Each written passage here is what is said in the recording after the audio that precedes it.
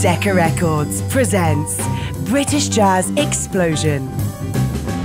Recutting the originals and creating highly regarded British recordings made during the 1960s and 70s. An exciting and forward thinking period in the history of music.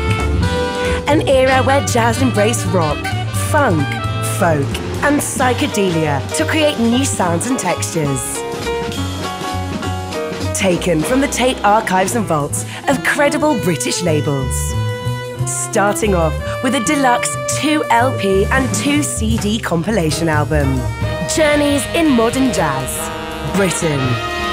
Features revered and sought after tracks, available for the first time since their original release, including a 20,000 word booklet insert of well researched and written notes, with biographies on each artist who searched for and found a new voice for British jazz.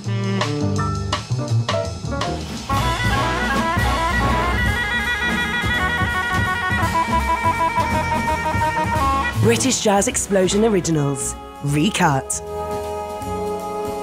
Presenting some of the most distinctive UK jazz albums ever made during the 1960s and 70s.